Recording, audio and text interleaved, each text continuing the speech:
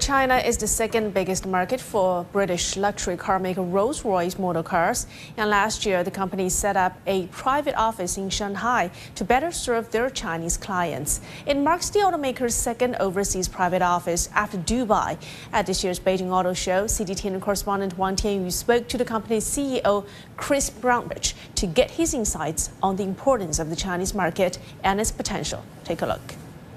The Greater China area is Rolls-Royce's second biggest market after the United States. So how critical is the Chinese buying power for the future development of Rolls-Royce? Well, Rolls-Royce uh, is established across the world in every region. And so, of course, our business is spread in many different areas. And China is a very important region for us.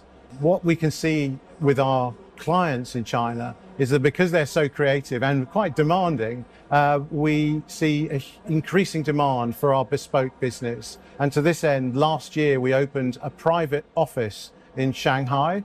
And the purpose of the private office is to bring Goodwood to the region and also be able to listen to the region and take the insight back to uh, the design teams at Rolls-Royce. So we have invested to make sure that we are able to respond to our clients' need directly in the market, and that's why we've done that.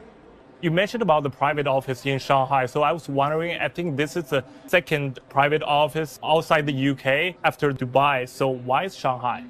We chose Shanghai because China is a region which has great potential for Rolls-Royce, but also we have a large number of clients already, and our business uh, is centered around really having strong relationships and deep understanding of our clients so that we can produce these bespoke motor cars for them. So having the private office in China, it made complete sense. It was the most logical thing to do.